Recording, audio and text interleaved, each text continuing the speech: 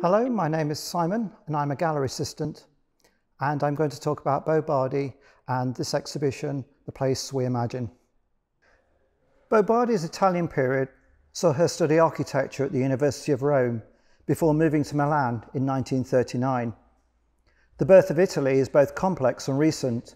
The compromises and conflicts regarding Italian unification was led in the mid-1850s by ragamuffin Garibaldi, the hero of two worlds, Italy and Brazil. The milieu of the 20th century Italian history frames Bo Bardi's practice. The 1915 Treaty of London rekindled the taper to fuel the flames of Italian nationalism and consequently the rise of fascist dictator Benito Mussolini in 1919.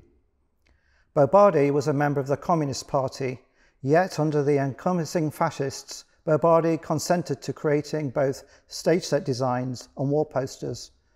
During World War II, the Milan offices of the Bo Bardis was destroyed, and in 1946, Bo Bardi rejected the dual nationality, relinquished her Italian citizenship, and moved permanently to Brazil. As an illustrator, designer, and editor, Bo Bardi designed the covers of A, A Culture of Loving, which dealt with the theory of architecture and civil responsibility the magazine roused the readers to work together for the reconstruction of the wounds of war. Why do we have to live so badly? We have to start from the beginning, from the letter A, to organise a happy life for all. Within a space, it is we who use the space and are thus able to change its dynamics by living, working and playing within a space. Bo Bardi herself saw architecture as an enabler of society, Architecture brings nature, living and community together, a social art. As in interwar Italy, there was also a political undercurrent to their new aesthetic practice, inflected by the demise of Italian fascism, and she advocated that Brazil should not belong to Western culture. In 1962, Bo Bardi drew a fantastical playground. The colourful drawing imagines a series of vast sculptures in front of the Museum of Art, that she had recently designed for Sao Paulo. The museum was viewed as an ideal place to cultivate agreeable new models of interclass sociability and incorporating the Afro-Brazilian vernacular within the context of modernising Brazil. The envisioned playworks loom over the museum as though imagined by children rather than by an architect. This was important for Bo Bardi.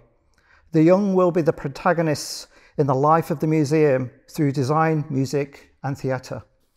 This utopian play space was never realised. In this exhibition, Assemble have collaborated with Nottingham Contemporary to reimagine and to physically build the structures. Bo Bardi's drawings exemplify an assured tension, the impact of traditions and heritage of popular culture. I never wanted to be young.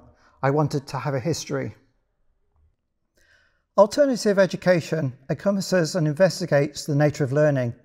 It is perhaps the philosophy and the practice of education, be it essentialism, social reconstructivism, democratic education, progressivism, and unschooling, for example. Education pioneers such as Maria Montessori and Rudolf Steiner may have viewed education as something that could cultivate and develop a child on many levels not only intellectually, but also morally, spiritually, emotionally, psychologically, and physically. Maria Montessori is primarily known for her revolutionary model of education and learning. Her ideas about education stemmed from the principles of choice, individual dignity, spontaneous order, experimental discovery, and the freedom of movement. They stand in radical contrast to the traditional schooling, too often based on authority, central planning, rigid infrastructure, and force. She once described children in such school as butterflies stuck with pins fixed in their places. Play is children's work, for children to have the quality of play experiences that are perhaps unknowingly created and nurtured when adults are involved in the process. A critique by John Dewey of the Montessori method suggesting that training the play contained little scope for imagination, social interaction and play. Dewey was an education reformer and principally a profound belief in democracy and this was precipitated by the rise of Adolf Hitler and the closure of the Bauhaus School in Germany.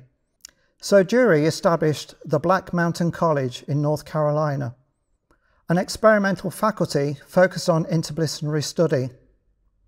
Paul Goodman, the co-author of the Gestalt therapy, would examine the autonomy of personal experience within self-development to act creatively and to react to one's human nature.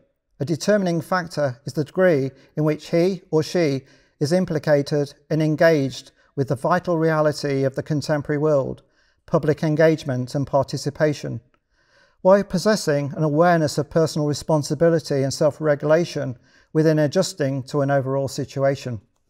The less top-down approaches to educational models within the context of Assemble and the place we imagine could be indebted to the legacies of social practice and community participation and social critique within the arts since the 1960s of groups like the Artist Placement Group, whose active associates included John Latham, Joseph Beuys, Ian Breakwell, Yoko Ono, the Fluxus Group and co-founder Barbara Steveni, discourse the principles of relational strategies within the social mobile context.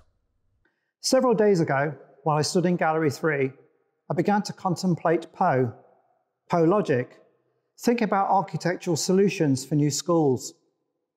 I contemplated as what would be the most efficient ways for children and adults to move between different floor levels. I thought about airline evacuation procedures and options for children to ascend and descend a level by something different than the staircase. The Office for National Statistics reports that there is a fall on a staircase every 90 seconds in the UK, and an estimated 250,000 non-fatal accidents which are serious enough to merit a trip to A&E. And 58,000 children have accidents on the stairs every year.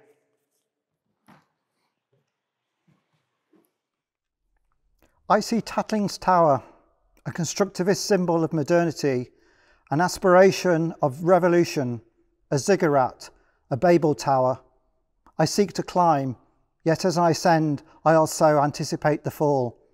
I contemplate further, I am within the hollow of a tree. Above me, a large green apple. I want to knock it free.